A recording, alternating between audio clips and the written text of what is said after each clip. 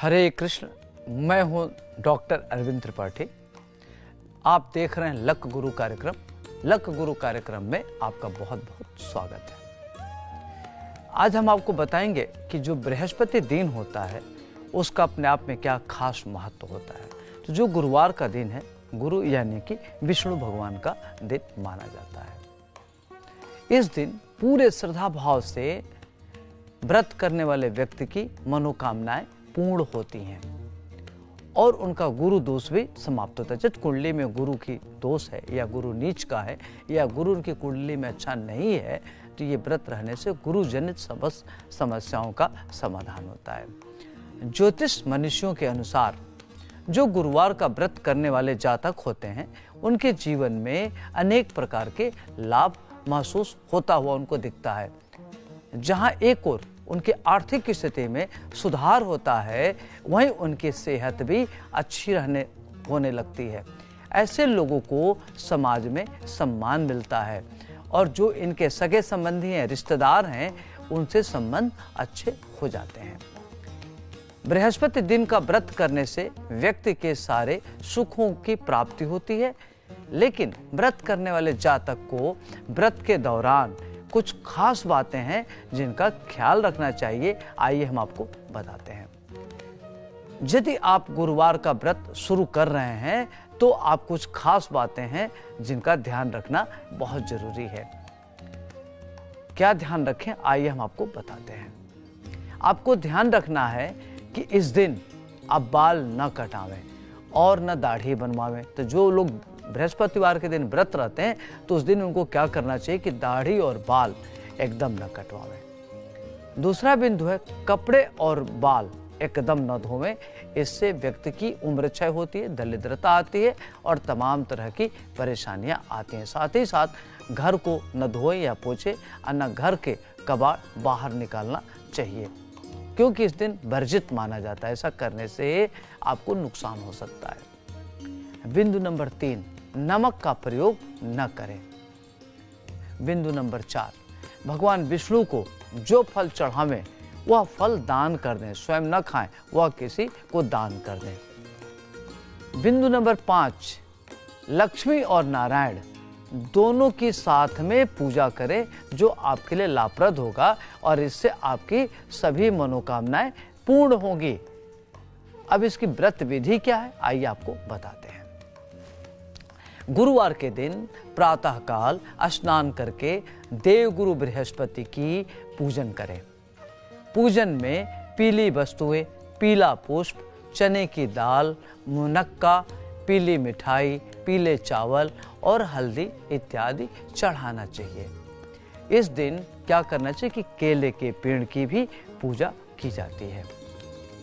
और केले के पूजा करने के बाद आप कथा पढ़ते हैं। पूजन करते हैं। और पूजन के समय सच्चे मन से मनोकामना की पूर्ति की प्रार्थना करें। और जल में हल्दी डालकर केले के पेड़ पर चढ़ावें और केले के जड़ में चने की दाल, मुनक्का अर्पित करें। तत्पश्चात दीपक जलाकर पेड़ की आरती करें। और गुरुवार के व्रत में दिन में एक समय ही भोजन ग्रहण करना चाहिए। भोजन के तत्पश्चात भगवान बृहस्पति की कथा सुननी चाहिए। तो मैंने बताया कि बृहस्पति आपकी कुंडली में कैसे तो इसका क्या प्रभाव होगा, इसके लिए आप क्या उपाय करें, इसके बारे में मैंने बताया। अब आइए, अब हम बात करते हैं आज के पंचांग की। आज है 25 अप्रैल 2019 दिन है गुरुवार खष्टी तिथि है, पूर्वाषाढ़ नक्षत्र है कृष्ण पक्ष है।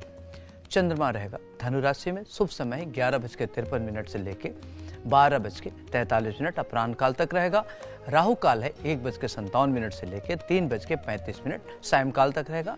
दक्षिण दिशा का दिशाशूल है, यात्रा करने से परहेज करें। यदि आपको लगता है यात्रा बहुत ज़रूरी है अपरिहार्य है तो आप क्या करें कि केसर का तिलक लगाएँ और जो आपके घर में बड़े हैं, उनका चरण स्पर्श करें, आशीर्वाद लें और दही गुड़ खा के आप यात्रा पर निकले, आपका यात्रा शुभ रहेगा और आपके कार्य बनेंगे। अब हम बात करते हैं प्रथम राशि, मेष राशि से। तो जो मेष राशि वाले जातक हैं, उनके लिए यह समय आर्थिक दृष्टिकोण से महत्वपूर्ण चल रहा है। एक तो धन के क्षेत्र में किया गया प्रयास सार्थक होगा तो आपको बड़े पैमाने पर धन लाभ मिलते हुए दिख रहा है। और विविध क्षेत्र से, विभिन्न प्रकार के कार्यों से लाभ होने का समय चल रहा है। तो चतुर्दिक तरीके से देखा जाए तो चतुर्दिक चतुर्दिक दृष्टिकोण से धन लाभ होगा। धन के क्षेत्र में वृद्धि होगी। नया व्यापार करने का योग बन रहा है। समय का सदुपयोग करना आपके लिए श्रेष्ठकर रहेगा। व्यापार में पूंजी निवेश करना लाभदायक रहेगा। यदि आप रियल इस्टेट में माइंस में कंस्ट्रक्शन में शेयर में पूंजी निवेश करते थे आज आपको लाभ मिलेगा। भूमि भवन खरीद सकते हैं। और जो मेष राशि के जातक है, उनके राशि से नौवें चंद्रमा है, धनु राशि का। तो जब धनु राशि का चंद्रमा हो तो व्यक्ति बहुत दूरदर्शी होता है। और अपने विजन आइडिया को इम्प्लीमेंट करने वाला होता है इमेजिनेशन को रियलिटी में बदल लेता है और जो चाहता है करता है। समय आपके लिए बहुत ही अच्छा है। तो व्यापार के दृष्टिकोण से, धन के दृष्टिकोण से, सामाजिक प्रतिष्ठा के दृष्टिकोण से समय आपके लिए सर्वोपरि बहुत ही अच्छा है। ज़रूरत है अपनी ऊर्जा को सही दिशा में लगाने की। सावधानी क्या बरतनी है? आप फोकस होइए और अपने कर्म क्षेत्र में लग जाइए। आपकी बड़ी सफलता मिलते हुए दिख रही है। उपाय क्या करना है? लाल चंदन का तिलक लगाना आपके लिए श्रेष्ठ रहेगा। शुभ अंक है नौ, शुभ रंग है केसरिया और लक मीटर है नौ, हरे कृष्ण। अब हम बात करते हैं वृक्ष राशि की। तो जो वृक्ष राशि वाले जातक हैं, इनको आज अपने माता का सुख मिलेगा और माता के द्वारा व्यापार करने का अवसर मिलेगा। जगह, ज़मीन, जायदाद खरीद सकते हैं। आर्थिक पक्ष मज़बूत होगा। नए तरीके के वाहन खरीद सकते हैं। पारिवारिक स्थिति आपकी मज़बूत होगी और पारिवारिक जो समस्याएँ हैं, उसका समाधान होते हुए दिख रहा है और आपकी संततियाँ बहुत अच्छा करेंगी, जिससे मन आपका प्रसन्न रहेगा। द्रुत गति की गाड़ी चलाने से परहेज करें। चोट चपेट लग सकता है और सावधानी पूर्वक रहना आपके लिए बेहतर होगा। पदोन्नत होने की संभावना बन रही है। पिता का सहयोग प्राप्त होते हुए दिख रहा है और आपके संघर्ष का समय समाप्त हो गया। उत्तरोत्तर उन्नति प्रगति होगी। और यदि आप जहाँ नौकरी करते हैं, वहाँ आपके उच्चस्त निम्नस्त जो आपके साथ रहने वाले लोग हैं, सब सहयोगी की भूमिका में रहेंगे, सबका रोल आपके प्रति अच्छा रहेगा। आपके अंदर नेगेटिविटी न डेवलप हो, इस पर आपको सेल्फ रिव्यू करने की ज़रूरत है। पॉजिटिव दृष्टिकोण से देखना बेहतर होगा। सावधानी क्या बरतनी है? दूसरों की सलाह लेकर के कार्य क्षेत्र में लग जाए, आपके लिए अच्छा रहेगा। उपाय क्या करना है? आज भगवान शिव की आराधना करें, उनको अर्घ दें और बेलपत्र अर्पित करें। ओम नमः शिवाय मंत्र का जप करें, आपके लिए अच्छा रहेगा। शुभ अंक है दो, शुभ रंग है सफ़ेद, लक मीटर है सात, हरे कृष्ण। अब हम बात करते हैं मिथुन राशि की। तो जो मिथुन राशि वाले जातक हैं, उनके लिए समय बहुत अच्छा। आप बौद्धिक क्षेत्र में कार्य करेंगे। अपने बौद्धिक क्षमता के द्वारा, लेखन के द्वारा और अपने स्किल के द्वारा धन अर्जित करेंगे, कीमती सलाह देंगे, उससे धन आएगा। फाइनेंस और शेयर में अगर पूंजी निवेश करते हैं तो आपके लिए बेहतरीन होगा। रुका हुआ धन प्राप्त होते हुए दिख रहा है। और जो भी कार्य प्रयास करेंगे तो समस्त प्रयासरत कार्यों में सफलता मिलने का प्रबल योग बन रहा है। परिवार में नए मेहमान आ सकता है। पत्नी का सुख मिलेगा, पत्नी का सानिध्य मिलेगा, दाम्पत्य जीवन अच्छा होगा और चारों तरफ़ से लाभ को देखते हुए, चारों तरफ़ से लाभ मिला जिसको देखते आपका मन प्रसन्न रहेगा। आज आपको ये ध्यान रखना है कि जो मिथुन राशि वाले जातक हैं, उनका धनु राशि का चंद्रमा सातवें हाउस में बैठा केतु और शनि के साथ। आज आपका मन अचानक अकारण, उद्विग्न रहेगा, तनाव में रहेगा। छोटे छोटे बात को लेकर इरिटेट होंगे, उद्विग्नता बढ़ी रहेगी। पत्नी से बेवजह विवाद होगा। पारिवारिक स्थिति प्रतिकूलता में जा सकती है। तो आपको ध्यान रखना है कि बेवजह बात विवाद ना करें। बात विवाद से बचने की ज़रूरत है। मध्यम मार्ग आपके लिए अपनाना अच्छा रहेगा। रोग और शत्रु को एकदम हल्के में न लें। तो कोई भी कार्य करें तो उस पर थोड़ा गंभीरता से करें। और आपके मन में जो असुरक्षा की भावना डेवलप हो रही है, उससे बचने की ज़रूरत है। और आज यदि आप संगीत का सहारा लें तो बढ़िया रहेगा। या ओम नमः शिवाय। मंत्र का जप करें तो आपके लिए बेहतर होगा। सावधानी क्या बरतनी है? बड़ों की सलाह लेकर ही किसी कार्य की शुरुआत करें। और उपाय क्या करना है? पक्षियों को दाना खिलाना आपके लिए श्रेष्ठ कर रहेगा। शुभ अंक दो शुभ रंग हरा, लक्ष्मी तेरे साथ हरे कृष्ण। अब हम बात करते हैं कर्क राशि की। तो जो कर्क राशि के जातक हैं, आज आपको ध्यान रखना है कि आपकी मन स्थिति बेवजह परेशान हो सकती है। आप अकारण तनाव ले सकते हैं तो तनाव की स्थिति से बचना है। बेवजह बात विवाद नहीं करना है बात विवाद करना आपके लिए घाटे का सौदा हो सकता है तो इसमें मध्यम मार्ग अपनावें और जितना विवादों से दूर रहेंगे, उतनी ही अच्छा एनर्जी एक है, चाहे वाद विवाद में लगाइए चाहे रचनात्मक कार्यों में लगाइए बेहतर होगा कि रचनात्मक कार्यों में अपनी एनर्जी लगावें तो आपके लिए अच्छा रहेगा।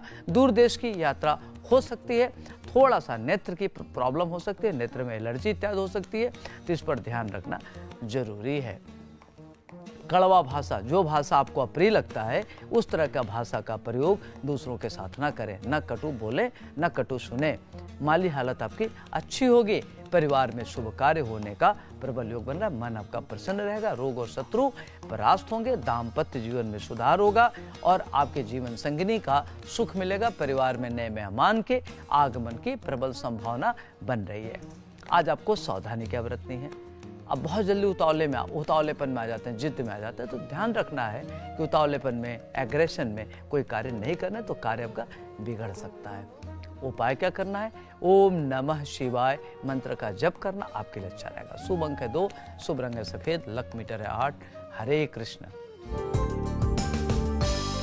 अब हम बात करते हैं सिंह राशि की। तो जो सिंह राशि वाले जातक हैं, आज आपकी जो भी योजनाएँ हैं, समस्याएँ हैं ठीक तो समस्याओं का समाधान होगा, योजनाएँ सफल होंगी, मूर्त रूप होते हुए दिख रहा है तो जो आपकी इमेजिनेशन है रियलिटी में हो सकता है। परिवार की स्थिति अच्छी होगी और आज आप हवाई महल बनाना बंद करिए, कर्म क्षेत्र में लगिए, परिश्रम करिए, पराक्रम करिए, आपको लाभ मिलेगा, भाइयों का सहयोग मिलेगा, परिवार में अच्छा होगा, सरकारी नौकरी मिल सकती है और परिवार में शुभ कार्य होने का प्रबल योग बन रहा है और पत्नी की भूमिका सहयोगात्मक होगी, जिससे मन आपका प्रफुल्लित रहेगा।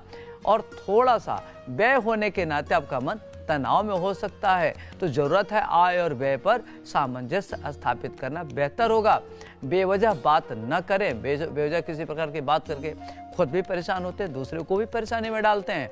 तो इस तरह की बात न करें, न सुने और थोड़ा सा अपने को ग्रेसफुल बनने की ज़रूरत है। और छोटी छोटी बात को लेके न तनाव लें, न तनाव दें। इस पर आज आपको विशेष ध्यान देने की ज़रूरत है। आज आपको सावधानी क्या बरतनी है? जीवन संगिनी को, सेहत को लेकर के थोड़ा सा अलर्ट रहने की ज़रूरत है, सचेत रहें। उपाय क्या करना है?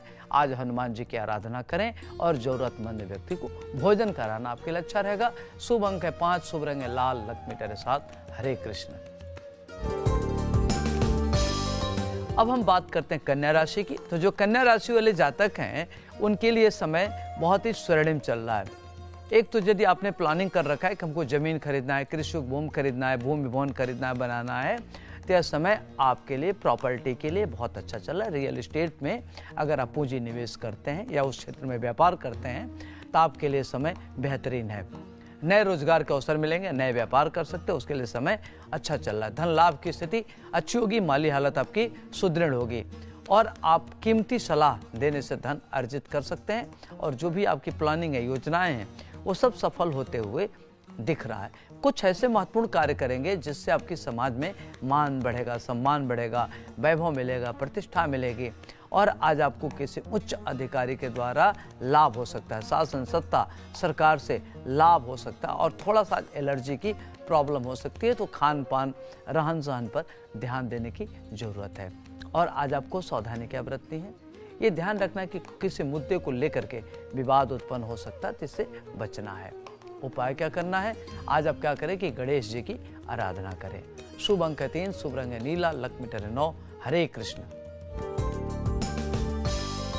अब हम बात करते हैं तुला राशि की। तो जो तुला राशि के जातक हैं, उनके लिए समय भाई बहनों से थोड़ा सा विवाद की स्थिति उत्पन्न हो सकती है, पारिवारिक स्थिति थोड़ा दिक्कत आ सकती है। छोटी छोटी बात को लेकर के आपस में लड़ना, झगड़ना ये बेहतर नहीं है। तो बेहतर है कि अपने को थोड़ा सा सेल्फ रिव्यू करें और अपने संकटों से निकलें। और क्या दिक्कतें आ रही हैं और दिक्कतों का समाधान कैसे होगा, इस पर सोचने की ज़रूरत है। आज अपने ज़मीन, जायदाद खरीद सकते हैं। रियल इस्टेट से आज आपको लाभ मिल सकता है, इसका प्रबल संभावना बन रही पेट्रोलियम के क्षेत्र से अगर आप व्यापार करते हैं, पेट्रोलियम में, गैस में, ईंधन में, फर्टिलाइज़र में तो आपके लिए लाभप्रद सौदा हो सकता है। नए व्यापार करने से लाभ मिलेगा, पिता से लाभ मिल सकता, आय के संसाधनों में वृद्धि होगी, माता का सुख मिलेगा। आज आपको ध्यान रखना है कि माता के हेल्थ को लेकर के थोड़ा सा अलर्ट भी रहना है। सावधानी क्या बरतनी है। इमोशन में आके कोई निर्णय न लें।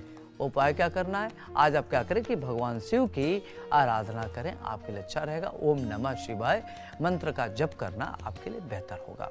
शुभ अंक है दो, शुभ रंग है नीला, लक मीटर है सात, हरे कृष्ण।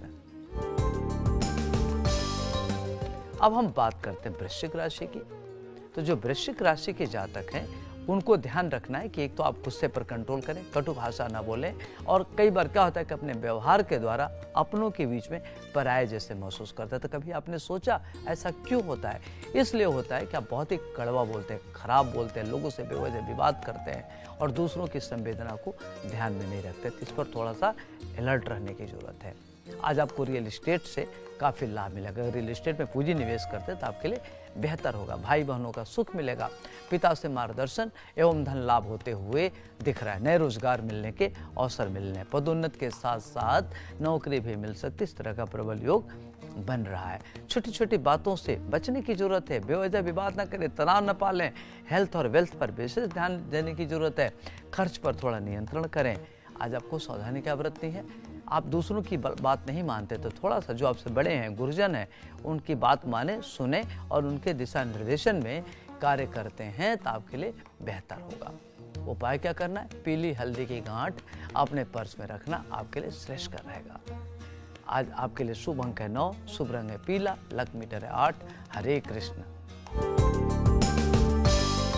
अब हम बात करते हैं धनु राशि की। तो जो धनु राशि वाले जातक होते हैं, एक तो बहुत ही सेंसेटिव होते हैं छोटी छोटी बात को लेकर इरिटेट होते हैं और बहुत ही उदार नेचर के होते हैं। अपने ही जैसा सबके बारे में सोचते थे लेकर के उन, अगर उनके अपेक्षाओं पर, उनकी सोच पर उनके मापदंड पर अगर कोई खरा नहीं उतरता तो बहुत जल्दी इरिटेट हो जाते हैं, गुस्से में आते हैं और इनका गुस्सा कंट्रोल में नहीं रहता। तो ये अपना नुकसान करते थे इनको थोड़ा सा संतुलित आचरण और व्यवहार करने की ज़रूरत है। खान पान पर नियंत्रण करने की ज़रूरत है और अपने गुस्से पर कंट्रोल करें। परिवार में शुभ कार्य होने की संभावना बन रही है। कई महत्वपूर्ण कार्य एक साथ हो सकते हैं, जिसका लाभ मिलते हुए दिख रहा है। धन लाभ होने की संभावना है। परिवार में शुभ कार्य हो सकता है। दूर देश की यात्रा का भी प्रबल योग बन रहा है और प्रयासरत कार्यों में बड़ी सफलता मिलते हुए दिख रहे नौकरी और रोज़गार से मिलने की संभावना है, पदोन्नत होने की भी प्रबल योग बन रहा है। माली हालत आपकी बहुत ही अच्छी होगी, नया कार्य कर सकते हैं। शासन सत्ता से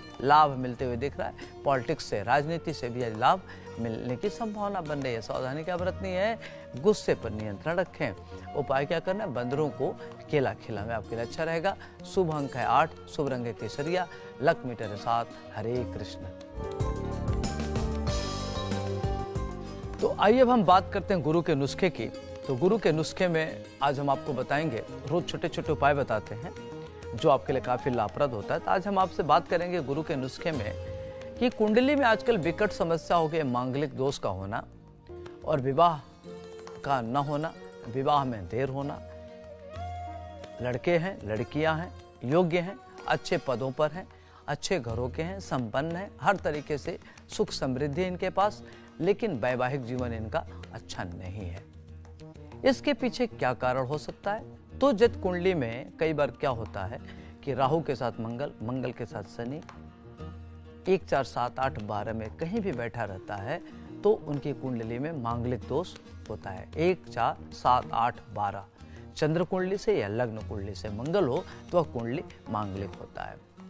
तो यदि आप शादी देखने जाते हैं तो कई बार क्या होता है कि पसंद नहीं है, शादी नहीं हो रही है, शादी में विलंब हो रहा है तो एक कारण ये भी हो सकता है। मान लीजिए आपके पास कुंडली नहीं है और आप जानना चाहते हैं कि आपकी शादी में विलंब क्यों हो रहा है तो शादी के पीछे कारण मांगलिक भी हो सकता है।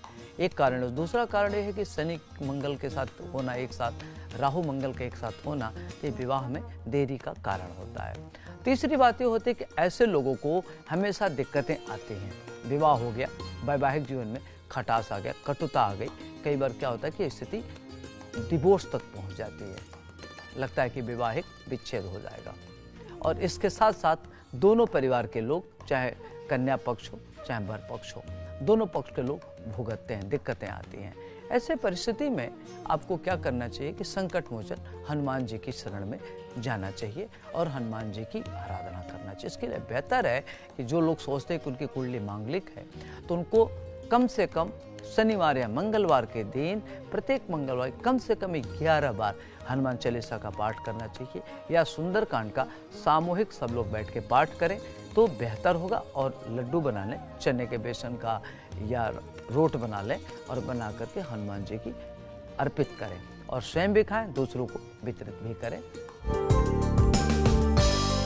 तो जो मकर राशि के जातक हैं, आपको ये ध्यान रखना है कि आप कोई भी समय से काम करना नहीं चाहते, हर चीज़ कल पर टालते हैं। और अगर आपका कार्य संपन्न नहीं होता तो आप इरिटेट हो जाता है, आपको गुस्सा आती है। और निर्णय शीघ्र लेते, जो आपके लिए हानिकर हो सकता है। तो आपको गुस्से पर नियंत्रण रखना है, शीघ्र निर्णय न लें, त्वरित निर्णय लेना आपके लिए घाटे का सौदा हो सकता है, इससे बचना है। नए व्यापार करने के अवसर मिलेंगे, दूर देश की यात्रा होगी, शुभ कार्य का भी योग बन रहा है, जगह, ज़मीन, जायदाद खरीद सकते हैं। वाहन खरीदने का भी योग बन रहा है। रोग और शत्रु आपके परास्त होंगे। नए तरह के कार्य करने से, नए व्यापार से लाभ मिलेगा, माता का सुख मिलेगा, पिता का सुख मिलेगा। जो भी आपका दायित्व उसको निर्वाह करने में सफल रहेंगे और पारिवारिक स्थिति मज़बूत होगी। आज आपको सावधानी क्या बरतनी है? खर्च पर नियंत्रण करना है अत्यधिक खर्च करने से बचना है। उपाय क्या करना है? उपाय ये करना है कि सरसों के तेल का दीपक जला में आपके लिए अच्छा रहेगा। शुभ अंक है आठ शुभ रंग हरा लक मीटर आठ, हरे कृष्ण। अब हम बात करते हैं कुंभ राशि की। तो जो कुंभ राशि के जातक हैं, आज आपको ध्यान रखना है कि आज आपको चारों तरफ़ से लाभ मिलने की स्थिति चल रही है। व्यापार नया कर सकते हैं, कार्य अच्छा कर सकते हैं और जितनी भी आपकी इंपॉर्टेंट योजनाएँ हैं जो बहुत दिन से चिर प्रतीक्षित है, सारी योजनाएँ सफल होते हुए दिख रही है। दूर देश की यात्रा का प्रबल योग बन रहा है। रोग और शत्रु परास्त होंगे, लेकिन अपने को रोग और शत्रुओं से घिरे हुए महसूस करेंगे। दाम्पत्य जीवन में भी सुधार होगा। माली हालत अच्छा होगी। जीवन साथी से मदद मिलेगा और आज आपको मेंटल, मॉरल, इमोशनल सपोर्ट मिलने की भी संभावना बन रही है। पत्नी की हेल्थ को लेकर के थोड़ी सी आपको चिंता हो सकती है। अज्ञात लोगों से, अज्ञात स्रोत से, अज्ञात लोग से धन मिलने की भी संभावना बने, जिससे मन आपका प्रफुल्लित रहेगा, पराक्रम से लाभ मिलेगा, संतान सुख मिलने का प्रबल योग बन रहा है। और आय के अनेक स्रोत बढ़ेंगे, ये महत्वपूर्ण चीज़ आपके लिए चल रही है और आज आपको सावधानी क्या बरतनी है? आपने खर्च पर नियंत्रण करें। उपाय क्या करना है? आज आप क्या करें कि हनुमान जी की आराधना करें। आपके लिए श्रेष्ठ रहेगा। शुभ अंक चार, शुभ रंग सफ़ेद। लक तेरे साथ, हरे कृष्ण। अब हम बात करते हैं अंतिम राशि, मीन राशि की। तो जो अंतिम राशि, मीन राशि वाले जातक हैं, आज आपको अपने सेंटिमेंट पर, भावनाओं पर ध्यान रखने की ज़रूरत है। आवेश में और आक्रोश में आगे कोई कार्य ना करें तो कार्य बिगड़ सकता है। विद्या और बाणी अपने स्किल से धन लाभ होने की संभावना दिख रही है। समय का थोड़ा सदुपयोग करने की ज़रूरत है। समय आपके अनुकूल है, भाग्य आपके अनुकूल है। जितना आप हार्ड वर्क करेंगे, जितना मेहनत करेंगे, उतने ही आज आपको लाभ मिलते हुए दिख रहा है। प्रचुर मात्रा में धन लाभ का प्रबल योग बन रहा है। आज आपको सावधानी क्या बरतनी है, अपने समय का सदुपयोग करें। आलस्य में अपना समय नष्ट न करें। उपाय क्या करना है? आप क्या करें कि आम एवं सेव, आम हो या ऋतु फल जो भी मिल आम का फल मिल जाए, सेव मिल जाए या संतरा मिले तो मंदिर में दान कर दें। शुभ अंक है तीन, शुभ रंग है गोल्डन लक मीटर सात हरे कृष्ण। आज मैंने आपको बताया कि यदि आपकी कुंडली में मांगलिक दोष है, मांगलिक दोष के नाते विवाह शादी में दिक्कत आ रही है तो इसको कैसे दूर करें? हनुमान जी की महा उपाय करके जिससे आपकी समस्त समस्याओं का समाधान इसके बारे में मैंने बताया। और अब वक्त हो गया आपसे विदा लेने का तो चलते चलते हम बता देंगे कल कौन सा दिन है, कौन सी तिथि है, कौन सा नक्षत्र है। आइए आपको बताते हैं। कल है 26 अप्रैल 2019 दिन है शुक्रवार। सप्तमी तिथि है, उत्तराषाढ़ नक्षत्र है, कृष्ण पक्ष से चंद्रमा रहेगा। मकर राशि में शुभ समय ग्यारह बज के तिरपन मिनट से लेकर बारह बज के पैंतालीस मिनट अपराह्न काल तक रहेगा। राहु काल है, दस बज के चालीस मिनट से लेकर बारह बज के उन्नीस मिनट अपराह्न काल तक रहेगा। पश्चिम दिशा का दिशा दिशाशूल है, यात्रा करने से परहेज करें। हरे कृष्ण।